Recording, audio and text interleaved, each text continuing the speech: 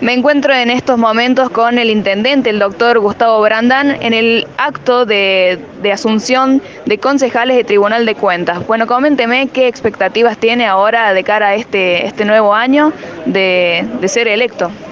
Bueno, con mucha expectativa, muy contento y esperemos que podamos seguir trabajando estos cuatro años de la misma forma que lo hicimos los primeros, con mucho progreso, con muchas obras y llevando, bueno, el progreso por todos lados de Coña Carolla. Usted va a hacer la asunción esta noche en el Bochas Sport Club. Así es, a la hora 21 vamos a estar eh, asumiendo, así que invitamos a toda la comunidad que nos acompañe en este acto tan importante. Tiene nuevos integrantes ahora en, cuanto a concejales y tribunal de cuentas. ¿Cómo le va a resultar ese trabajo en conjunto con ellos? Siempre con diálogo, con consenso y trabajar por la ciudad, que es lo más importante. Y en este caso, ¿qué proyectos nuevos tiene para Colonia Carolla? ¿Algo diferente?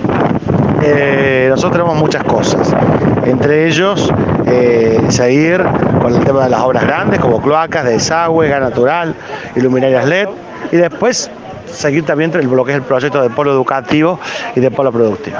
Muchas gracias, Intendente. Gracias a ustedes.